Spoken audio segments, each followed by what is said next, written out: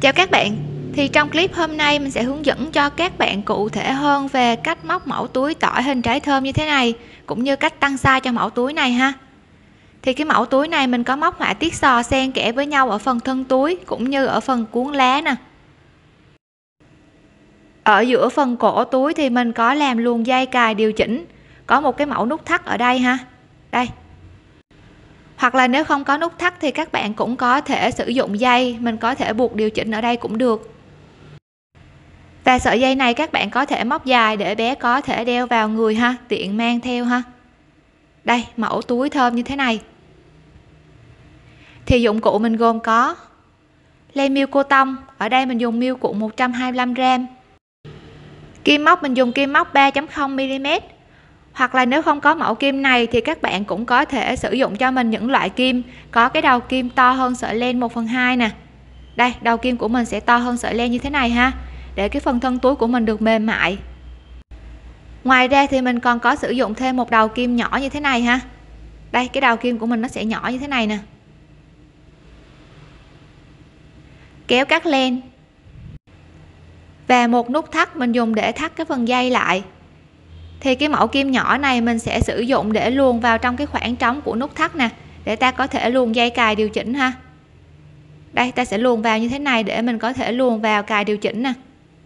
Bây giờ mình sẽ hướng dẫn cho các bạn cách móc cái phần thân túi trước.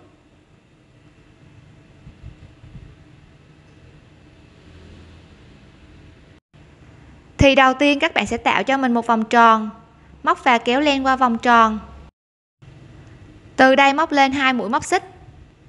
Một, hai, sau đó sẽ móc cho mình vào cái vòng tròn ta vừa tạo này 14 mũi kép đơn liên tiếp với nhau. Kép đơn thứ nhất, kép đơn thứ hai, kép đơn thứ ba, tiếp tục kép đơn thứ tư, kép đơn thứ năm, kép đơn thứ sáu kép đơn thứ bảy. Tiếp tục kép đơn thứ 8 kép đơn thứ 9 kép đơn thứ 10 kép đơn 11 kép đơn 12 kép đơn 13 và kép đơn thứ 14 sau khi đã được 14 mũi kép đơn liên tiếp vào vòng tròn đầu tiên rồi, các bạn sẽ di chuyển kim cho mình đến cái chân móc của mũi kép đơn đầu tiên mà ta móc ở đây nè. Đây là chân móc của mũi kép đơn đầu tiên ha, móc vào đây cho mình một mũi dời. Sau đó lên một mũi móc xích. Ta sẽ nắm sợi len thừa ở phía sau nè, các bạn guốc thật mạnh vào ha, cho cái vòng tròn của mình nó được nhỏ lại. Đây, thì mình được một vòng tròn nhỏ gồm có 14 mũi kép đơn liên tiếp với nhau. Tiếp tục, khi đã lên được một mũi móc xích vào chân mũi dời này rồi thì móc tiếp cho mình vào cái chân ta vừa móc mũi dời, một mũi móc đơn. Từ đây móc lên hai mũi móc xích. Một, hai. Sau đó đâm kim vào chân móc ta vừa móc mũi đơn và móc vào đó hai mũi kép đơn liên tiếp. Kép đơn thứ nhất nè và kép đơn thứ hai. Thì như vậy là chân móc đầu tiên của mình sẽ có 3 mũi móc nè. Một mũi móc đơn và hai mũi kép đơn ha ở cái vòng tròn nhỏ này các bạn bỏ qua chân kế bên và móc vào chân kế tiếp một mũi móc đơn. Khi đã được một mũi móc đơn rồi thì ta sẽ có được một họa tiết cánh quạt hoàn tất như thế này ha, nửa cánh quạt hoàn tất. Tiếp tục một mũi móc đơn rồi thì lên hai mũi móc xích. Ta cũng đâm kim vào chân móc, ta vừa móc mũi móc đơn, hai mũi kép đơn liên tiếp. Kép đơn thứ nhất nè và kép đơn thứ hai. Sau đó cũng bỏ qua cho mình chân kế bên và móc vào chân kế tiếp của cái vòng tròn 14 mũi kép đơn á đây, bỏ qua chân kế bên và móc vào chân kế tiếp một mũi móc đơn.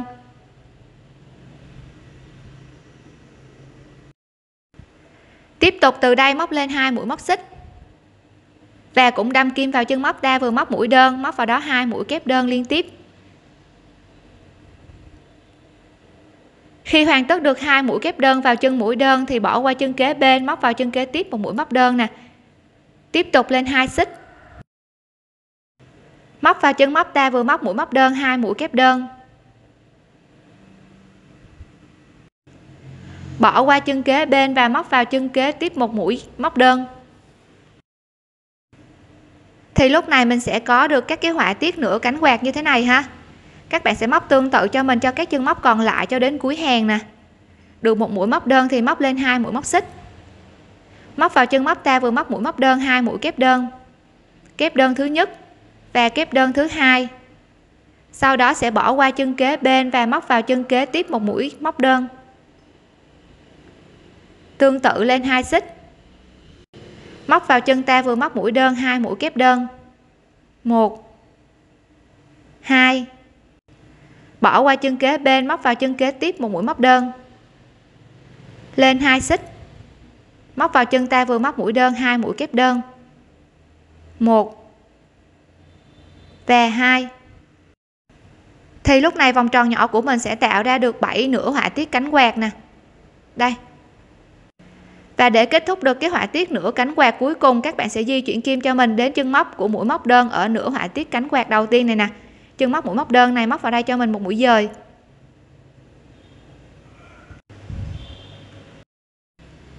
Ta hoàn tất được vòng tròn thứ hai cho cái phần túi của mình ha, cho phần đáy túi nè.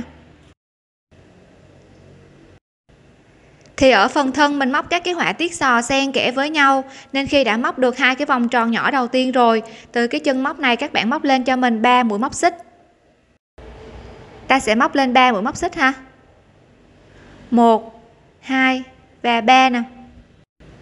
Khi đã được 3 mũi móc xích liên tiếp với nhau thì các bạn cũng đâm kim cho mình vào chân móc mà ta vừa móc mũi dời á. Móc vào đó hai mũi kép đơn. Kép đơn thứ nhất và kép đơn thứ hai khi đã được một cụm chân móc như thế này rồi nè, thì các bạn sẽ di chuyển kim cho mình đến cái chân móc của mũi kép đơn đầu tiên mà ta gặp. Cái cụm nửa họa tiết cánh quạt này nè. Ta có một mũi móc đơn, sau đó lên hai xích và hai mũi kép đơn. Thì cái chân móc mũi kép đơn đầu tiên mà ta gặp ở đây. Đây, cụm nửa họa tiết cánh quạt nè. Mũi đơn, hai xích và hai mũi kép đơn. Thì đâm kim vào chân của mũi kép đơn đầu tiên, móc một mũi móc đơn khi đã được một mũi móc đơn vào chân móc của mũi kép đơn đầu tiên ở họa tiết cánh quạt rồi, thì di chuyển kim đến chân móc của mũi móc đơn ha. Ta gặp tiếp theo á, của cái cụm họa tiết nửa cánh quạt này nè. Cái chân móc mũi móc đơn này các bạn móc vào đây cho mình hai mũi kép đơn. Một và hai. Sau đó lên một mũi móc xích. Và tiếp tục móc vào chân móc mũi đơn đó hai mũi kép đơn nữa.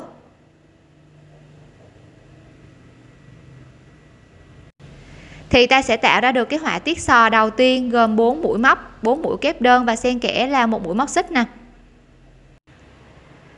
Tiếp tục khi đã móc được vào chân móc của mũi móc đơn ở nửa họa tiết cánh quạt ở phía dưới rồi á, thì các bạn sẽ di chuyển kim cho mình đến chân móc của mũi kép đơn đầu tiên mà ta gặp của cái họa tiết này nè. Chân móc này móc vào một mũi móc đơn. Như vậy là mình sẽ hoàn tất được một họa tiết sò như thế này ha, cho cái phần thân túi của mình nè khi đã móc được vào chân móc của mũi kép đơn đầu tiên ở cụm cánh quạt này rồi thì tiếp tục di chuyển kim đến chân móc của mũi móc đơn. Ở cái họa tiết cánh quạt kế tiếp á, móc vào cái chân móc mũi móc đơn này cho mình một họa tiết sò, gồm hai mũi kép đơn nè. Sau đó lên một xích.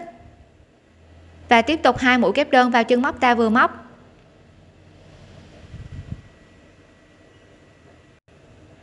Được một họa tiết sò gồm 4 mũi móc, xen kẽ là một mũi móc xích như thế này rồi, vào chân móc mũi đơn.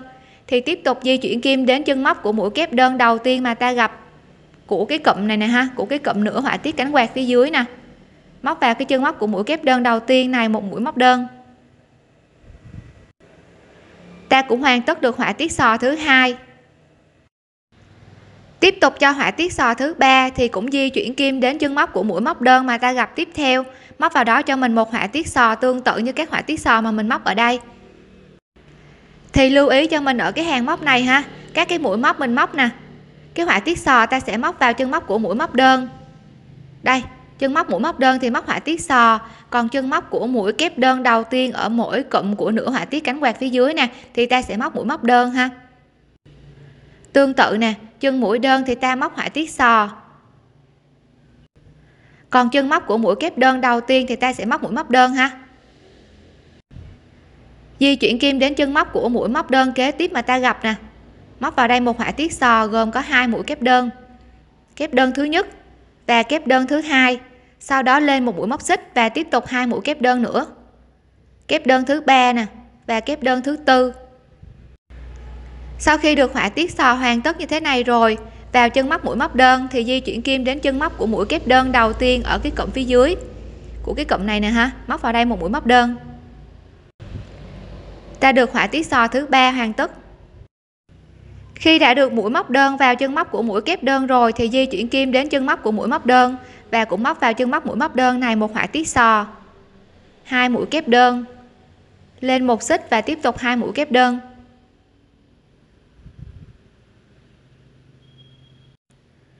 Khi được họa tiết sò rồi, di chuyển kim đến cái chân móc của mũi kép đơn đầu tiên ta gặp tiếp theo móc một mũi móc đơn và làm tương tự cho đến cuối vòng. Chân móc mũi móc đơn thì móc họa tiết sò nè, gồm hai mũi kép đơn, sau đó lên một xích và tiếp tục hai mũi kép đơn.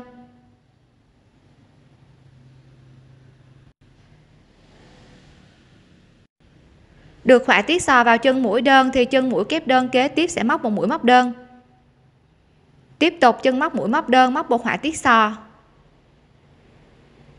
Hai mũi kép đơn. Một và hai. Tiếp tục lên một xích và hai mũi kép đơn tương tự vào chân móc ta vừa móc.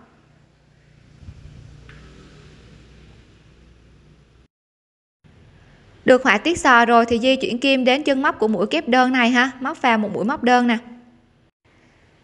Thì lúc này hàng móc của mình nó sẽ có được 6 họa tiết sò hoàn tất họa tiết sò cuối cùng nè. Khi các bạn móc đầu tiên á, ta sẽ có lên hai mũi kép đơn vào cùng chân móc mũi móc đơn này.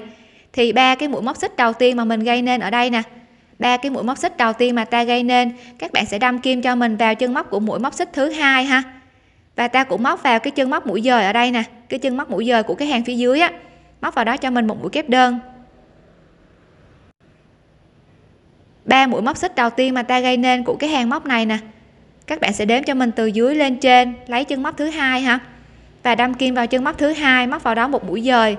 Thì hai mũi móc xích này ta sẽ tính là một mũi móc nha. Đâm kim vào chân thứ hai và móc vào một mũi dời. Như vậy là cái điểm này ta cũng có được một họa tiết sò tương tự nè. Mũi kép đơn và hai xích đầu tiên ta gây nên là một mũi. Sau đó cái mũi móc xích thứ ba sẽ là cái khoảng cách ha. Ta còn lại hai mũi kép đơn nè từ đây móc lên một mũi móc xích. Sau đó di chuyển kim vào chính giữa của họa tiết sò này, tức là cái khoảng trống mũi móc xích mà ta chừa ra nè. Hai mũi kép đơn ở đây, sau đó mũi móc xích nè, móc vào cho mình một mũi móc đơn ha. Lúc này cái vòng tròn của mình nó đã có đủ cái độ rộng để mình có thể tạo được cái thân túi rồi á. Thì các bạn sẽ không thêm mũi cho mình nữa, và ta sẽ móc lên cái phần thân túi nha.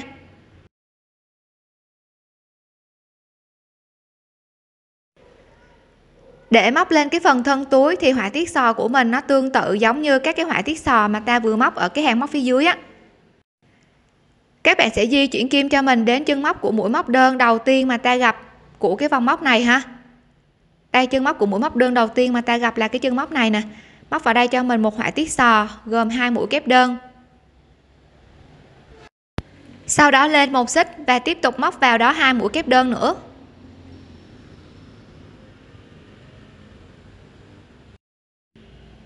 Khi đã hoàn tất được họa tiết sò như thế này thì lưu ý cho mình ở hàng móc này, ta bắt đầu là mũi móc đơn nè.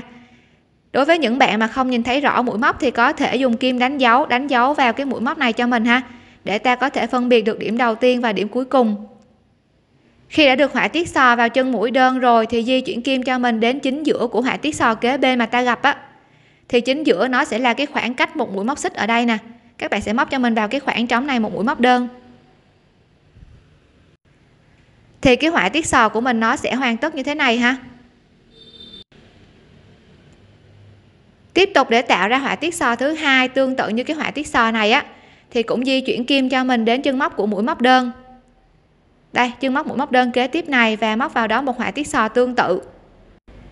Thì ở hàng móc này các bạn sẽ móc cho mình vào các chân móc của mũi móc đơn nè và chân móc ở chính giữa của họa tiết sò ha. Chân mũi đơn thì ta sẽ móc họa tiết sò và họa tiết sò của mình cũng gồm hai mũi kép đơn. Lên một mũi móc xích. Và tiếp tục hai mũi kép đơn nữa.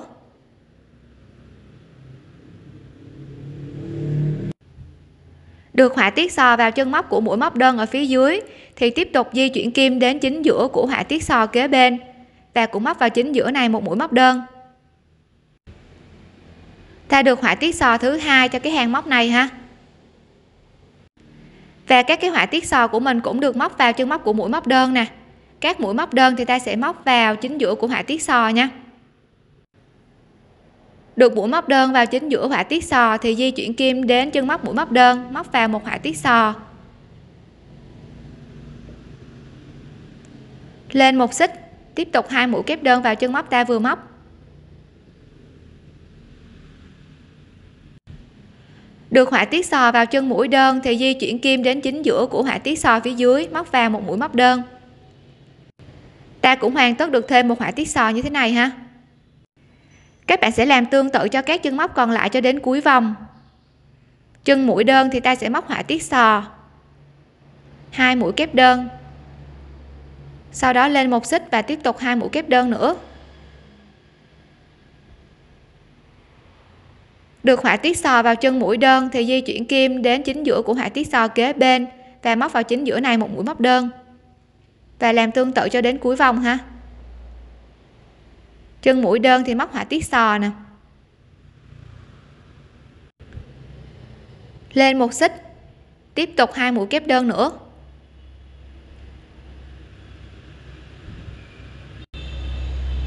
Được họa tiết sò vào chân mũi đơn thì di chuyển kim đến chính giữa của họa tiết sò kế bên, móc vào một mũi móc đơn và làm tương tự đến cuối hàng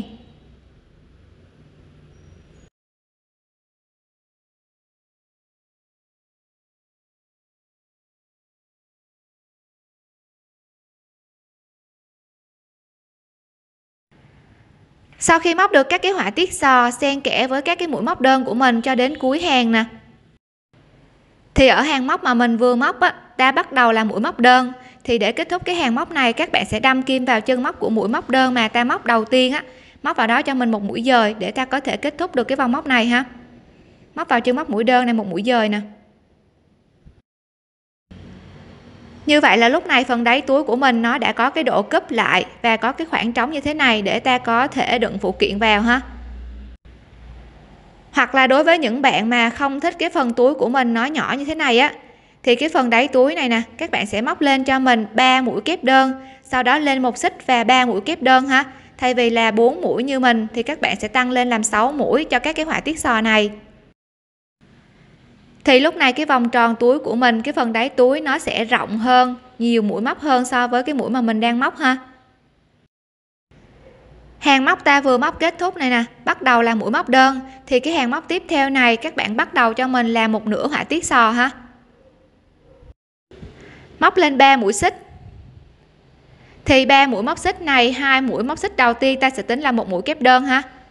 Di chuyển kim đến chân móc mà ta vừa móc mũi dời á, móc vào hai mũi kép đơn.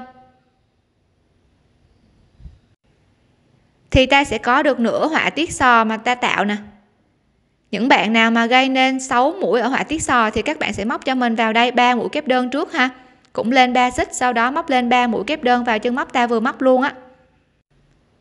Thì ta sẽ được nửa họa tiết sò như thế này.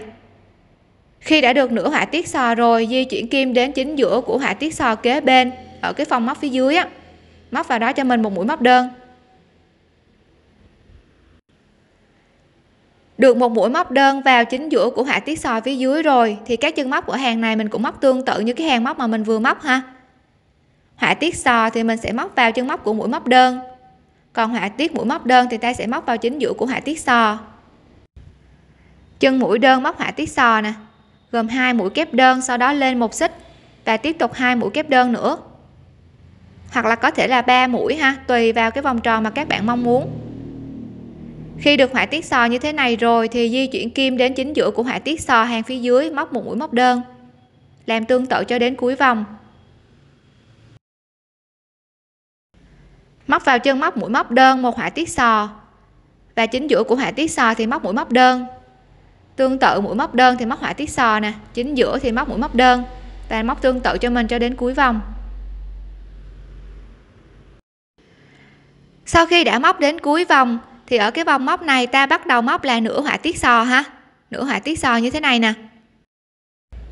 Thì cái đầu còn lại cuối cùng này mình sẽ tạo thêm một nửa họa tiết sò cuối cùng ha. Cũng đâm kim vào chân móc ta móc mũi giờ ở hàng phía dưới, móc vào một mũi kép đơn. Đối với cái họa tiết sò 6 mũi thì các bạn sẽ đâm kim cho mình vào cái chân móc này, móc vào hai mũi kép đơn ha. Còn ở đây mình chỉ tạo cái họa tiết sò gồm 4 mũi thôi, nên các bạn sẽ móc cho mình vào đây một mũi và di chuyển kim đến mũi móc xích thứ hai của ba mũi móc xích này, móc vào một mũi dời. Móc lên một mũi móc xích. Lúc này cái phần thân túi của mình nó sẽ có cái độ rộng cao lên ha. Đây, cái phần thân túi của mình nó sẽ có cái độ sâu lại nè. Và ở đây, ngoài cái cách tăng size 3 mũi kép, một mũi xích và 3 mũi kép cho cái họa tiết sò của mình được to ra thì các bạn cũng có thể tăng cho mình cái số mũi kép ở cái vòng tròn đầu tiên này lên 16 mũi ha. Và khi lên được 16 mũi như thế này, vòng tròn của mình nó sẽ có cái độ rộng ra hơn nè. Và ở mỗi hàng móc ta sẽ có được 8 họa tiết sò. Ở đây mình chỉ dừng lại ở 7 họa tiết sò ha, cho cái vòng tròn đầu tiên 14 mũi kép đơn. Tiếp tục lên hàng móc tiếp theo. Thì ở cái hàng móc phía dưới ta vừa móc bắt đầu là nửa họa tiết sò, thì xen kẽ hàng móc tiếp theo sẽ là mũi móc đơn ha. Mũi bắt đầu là mũi móc đơn, móc vào chính giữa này một mũi móc đơn nè. Khi được một mũi móc đơn vào chính giữa của họa tiết sò, thì cũng có thể dùng kim đánh dấu đánh dấu cho mình vào cái mũi móc đầu tiên này nha. Từ đây sẽ làm tương tự giống như các cái hàng móc phía dưới. Chân móc mũi đơn thì ta móc họa tiết sò. Hai mũi kép đơn. Lên một xích. Tiếp tục hai mũi kép đơn nữa.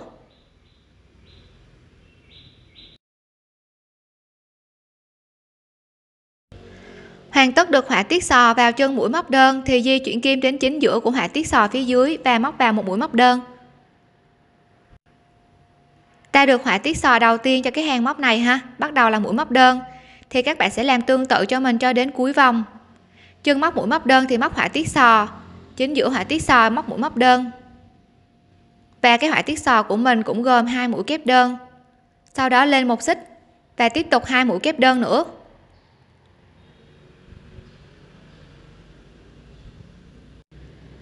Được họa tiết sò vào chân móc mũi móc đơn thì di chuyển kim đến chính giữa của họa tiết sò kế bên, móc vào một mũi móc đơn, làm tương tự cho đến cuối vòng. Đến cái mũi móc mà mình đánh dấu ha.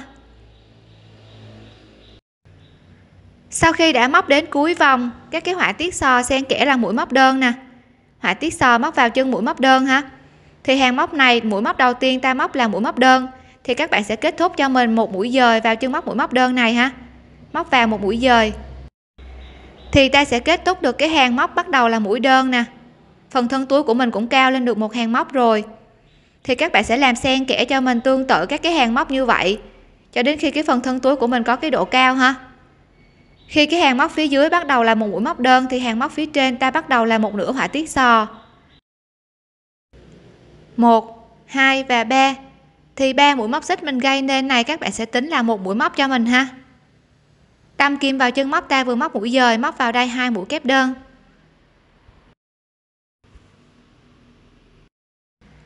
Như vậy là ta tạo ra được nửa họa tiết sò ha. Và kết thúc ta sẽ móc thêm một mũi kép đơn ở bên này để ta hoàn tất được cái họa tiết sò này ha. Tiếp tục móc vào chính giữa của họa tiết sò này một mũi móc đơn. Sau đó chân móc của mũi móc đơn thì móc họa tiết sò, gồm hai mũi kép đơn. Sau đó lên một xích và tiếp tục hai mũi kép đơn nữa. Khi hoàn tất họa tiết sò vào chân móc của mũi móc đơn phía dưới, thì tiếp tục móc vào chính giữa của họa tiết sò này một mũi móc đơn. Từ đây làm tương tự cho các hàng móc còn lại, ta sẽ móc xen kẽ ha. Một hàng ta bắt đầu là nửa họa tiết sò, thì hàng kế tiếp sẽ bắt đầu là một mũi móc đơn. Sau đó tiếp tục là một hàng có nửa họa tiết sò. Và khi gây nên nửa họa tiết sò cũng móc lên cho mình ba mũi xích ha và hoàn tất cái họa tiết sò này sẽ móc một mũi kép đơn ở phía sau này nè, cái chân móc mũi dời này nè. Sau đó tiếp tục hàng móc kế tiếp là mũi đơn vào chính giữa này. Móc thêm cho mình nhiều hàng móc nữa cho đến khi cái phần thân túi của mình đạt được cái độ cao mong muốn nha. Mũi móc đơn thì ta sẽ móc họa tiết sò. Gồm hai mũi kép đơn, sau đó lên một xích và hai mũi kép đơn nữa khi được họa tiết sò vào chân mũi đơn rồi thì tiếp tục móc vào một mũi móc đơn ở chính giữa của họa tiết sò kế bên. Và làm tương tự đến cuối hàng, móc thêm nhiều hàng móc xen kẽ. Ở đây mình đã móc lên thêm được nhiều hàng móc xen kẽ với nhau như thế này rồi. Các cái họa tiết sò của mình nó cũng xen kẽ với nhau ha. Và lúc này cái phần thân túi của mình nó đã đạt được cái độ cao như thế này rồi nè. Hàng móc ta kết thúc màu vàng này của phần thân túi á là bắt đầu mũi đơn, cho nên các bạn sẽ kết thúc là một mũi dời vào chân móc của mũi đơn ha. Móc lên một mũi móc xích, kéo và cắt len. Sau đó giấu sợi len thừa màu vàng vào trong các cái mũi móc màu vàng. Bây giờ mình sẽ tiếp tục móc cái phần lá ở bên trên. Thì đối với cái phần lá này mình sẽ sử dụng màu xanh để móc ha. Sợi len màu xanh này các bạn cũng tạo cho mình một nút và ta cũng dùng đầu kim 3.0 mm nha. Tạo một nút. Móc và kéo len qua vòng tròn. Dùng tay kéo sợi len dài để thành một nút. Bây giờ mình sẽ tạo khoảng trống để luồn dây trước. Ở cái phần thân túi màu vàng này nè, các bạn có thể đâm kim cho mình vào chân móc mũi đơn cũng được, hoặc là cái chân móc nằm chính giữa của họa tiết sò cũng được ha. Ở đây mình sẽ đâm kim vào chân móc nằm chính giữa của họa tiết sò đâm kim vào đây, sau đó kéo nút ta vừa tạo qua chân móc.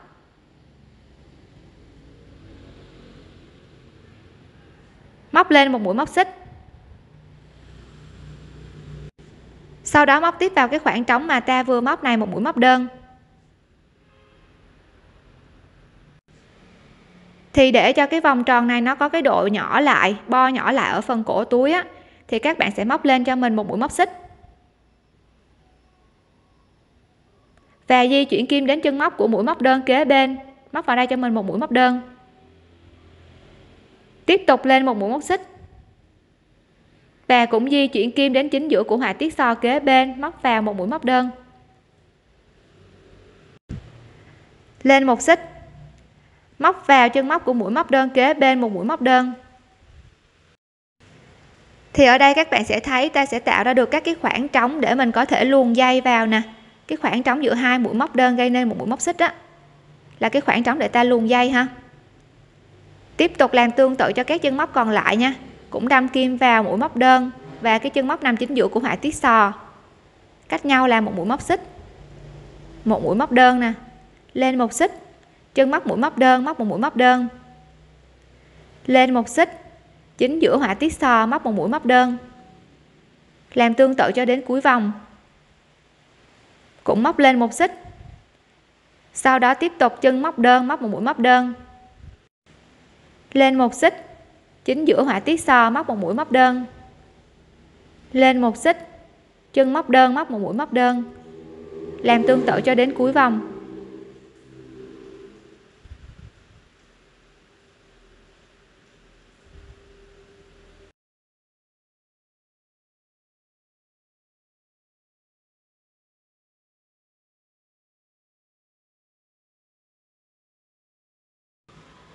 Sau khi móc đến cuối vòng thì ở cái điểm cuối cùng này cũng tương tự ha. Cũng móc cho mình một mũi móc xích và móc vào chân móc của mũi móc đơn đầu tiên ở cái hàng màu xanh này một mũi dời. Thì lúc này cái phần miệng túi mình nó đã có cái độ bo nhỏ lại như thế này rồi ha. Và cũng tạo ra được các cái khoảng trống giữa hai mũi móc đơn nè, là một mũi móc xích để ta có thể luồn dây cài điều chỉnh ở phần cuốn lá ở bên trên, các bạn tiến hành di chuyển kim cho mình vào cái khoảng trống đầu tiên mà ta gặp ở đây, móc vào một mũi dời. Từ đây móc lên 3 mũi móc xích.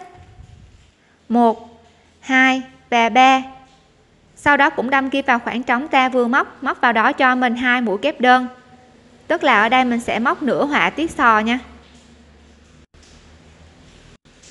Khi đã được hai mũi kép đơn với cái ba mũi móc xích mà ta gây nên này nè. Thì tiếp tục các bạn sẽ móc cho mình các cái họa tiết sò tương tự như cái phần thân ha. Khoảng trống kế tiếp này móc một mũi móc đơn nè.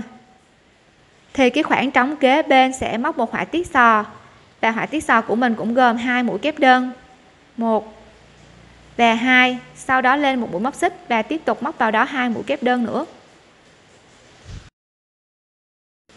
Được họa tiết sò vào khoảng trống kế bên thì khoảng trống kế tiếp mà ta gặp móc vào đó một mũi móc đơn. Được mũi móc đơn cho khoảng trống kế bên này rồi thì khoảng trống kế tiếp sẽ móc cho mình một họa tiết sò ha. Khoảng trống kế bên này sẽ móc một họa tiết sò nè, tương tự gồm hai mũi kép đơn. Một và hai. Sau đó lên một mũi móc xích và tiếp tục hai mũi kép đơn nữa kép đơn thứ ba và kép đơn thứ tư. Di chuyển kim đến khoảng trống kế bên móc một mũi móc đơn để hoàn tất họa tiết sò. Sau đó tương tự ha. Khoảng trống này móc một họa tiết sò nè. Hai mũi kép đơn. Lên một xích và tiếp tục hai mũi kép đơn. Di chuyển kim đến khoảng trống kế tiếp móc một mũi móc đơn thì cái hàng móc này khi ta móc đến điểm kết thúc, nó cũng tạo ra được 7 họa tiết sò bằng với số họa tiết sò ở cái phần thân màu vàng ha. Các bạn sẽ móc tương tự cho đến cuối hàng. Khoảng trống kế bên móc một họa tiết sò. Hai mũi kép đơn. Lên một xích, tiếp tục hai mũi kép đơn.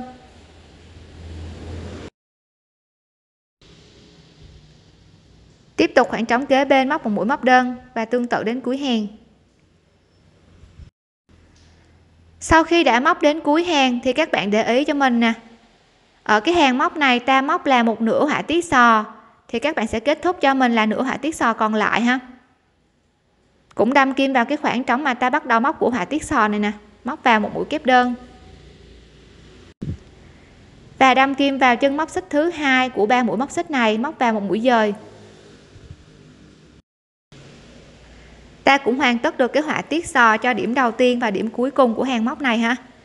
Móc lên một mũi móc xích và móc vào khoảng trống của họa tiết sò này một mũi móc đơn nè. Sau đó từ đây sẽ móc lên cho mình thêm hai hàng móc tương tự xen kẽ giống như cái phần thân phía dưới á. Một hàng ta bắt đầu là mũi đơn thì hàng kế tiếp sẽ xen kẽ là một nửa họa tiết sò nha. Đây, hàng này ta sẽ móc mũi đơn vào chính giữa của họa tiết sò nè thì hàng kế tiếp các bạn sẽ tạo cho mình một nửa họa tiết sò tương tự như cái hàng móc đầu tiên mà ta gặp. Móc tương tự cho mình đến cuối hàng và móc thêm hai hàng móc nữa nha. Để cái hàng móc thứ ba mình sẽ viền lại ở cái phần miệng túi này. Chân mũi móc đơn thì móc họa tiết sò và chính giữa của họa tiết sò thì móc một mũi móc đơn ha. Làm tương tự cho đến cuối hàng và móc thêm cho mình một hàng móc nữa để ta được ba hàng móc. Khi đã lên được tổng cộng 3 hàng móc ở cái phần cuốn lá, hàng móc kết thúc mình bắt đầu là một nửa họa tiết sò nè. Thì kết thúc của hàng móc này các bạn cũng đâm kim cho mình vào chân mũi dời của hàng phía dưới, móc vào một mũi kép đơn. Đâm kim vào chân thứ hai của mũi móc xích này, móc một mũi dời. Móc lên một mũi móc xích để cho cái phần cuốn lá của trái thơm mình nó được đẹp hơn và có cái độ xòe hơn á, thì bây giờ mình sẽ viền lại một hàng móc thứ tư ha. Và cái cách viền ở hàng móc thứ tư nó cũng tương tự giống như cái hàng móc mà ta móc ở phía trên này nè. Nhưng mà cái họa tiết sò của mình nó sẽ không có mũi móc xích nữa. Móc vào chính giữa này một mũi móc đơn. Sau đó di chuyển kim đến chân móc mũi móc đơn và móc cho mình 6 mũi kép đơn liên tiếp với nhau ha. Kép đơn thứ nhất kép đơn thứ hai. Kép đơn thứ ba. Kép đơn thứ tư. Kép đơn thứ năm và kép đơn thứ sáu. Khi được 6 mũi kép đơn liên tiếp với nhau và không tạo khoảng cách là mũi móc xích ha, thì di chuyển kim đến chính giữa của họa tiết sò này móc một mũi móc đơn nè. Thì hàng móc này mình cũng tương tự giống như hàng móc phía dưới ha, chỉ có khác là họa tiết sò của mình nó sẽ kín và có 6 mũi kép đơn khác với cái hàng móc phía dưới, có cái mũi xích ha. Các bạn sẽ viền tương tự cho mình cho đến cuối hàng. Và hàng móc kết thúc này mình cũng móc mũi dời vào chân mũi đơn nha. Chân mũi đơn thì móc họa tiết sò gồm 6 mũi kép đơn liên tiếp với nhau nè. Kép đơn thứ ba, kép đơn thứ tư, kép đơn thứ năm và kép đơn thứ sáu được họa tiết sò 6 mũi kép đơn liên tiếp thì di chuyển kim đến chính giữa này móc một mũi móc đơn, sau đó làm tương tự cho đến cuối hàng. Khi đã móc được đến cuối hàng, điểm đầu tiên ta móc là mũi móc đơn thì kết thúc sẽ là mũi dời vào chân mũi đơn. Lên một mũi móc xích, kéo và cắt len. Tiến hành giấu cho mình sợi len thừa ra phía sau mũi móc ha, thì cái phần miệng túi của mình nó sẽ có cái độ xòe rộng ra nè. Các bạn sẽ giấu cho mình sợi len thừa. Khi đã hoàn tất được phần cuốn lá ở bên trên, các bạn sẽ móc cho mình thêm một sợi dây móc xích dài như thế này. Và tiến hành dùng kim luồn vào trong các cái khoảng trống mà ta tạo ở phía dưới nè. Các bạn sẽ tiến hành luồn xen kẽ cho mình vào các cái khoảng trống ở phía dưới ha. Đây, ta sẽ tiến hành luồn như thế này nè. Xen kẽ với nhau vào các cái khoảng trống. Và kéo đầu dây qua.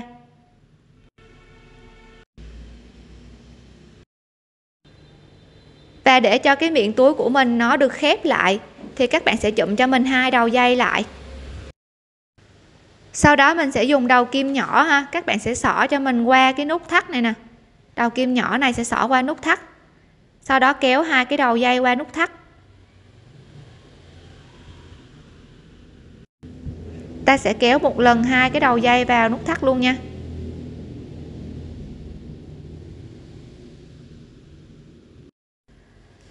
Kéo thật mạnh cái nút thắt này vào trong cái quả thơm của mình ha.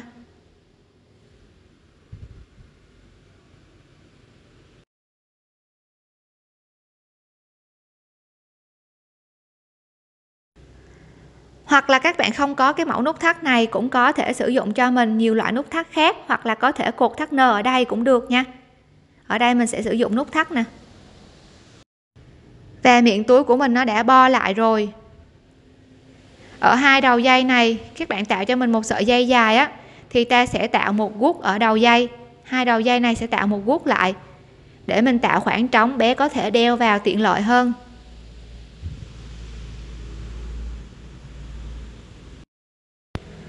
Như vậy là mình vừa hướng dẫn xong cho các bạn cách móc một mẫu túi tỏi có nút thắt ở cổ của túi như thế này. Chúc các bạn thành công!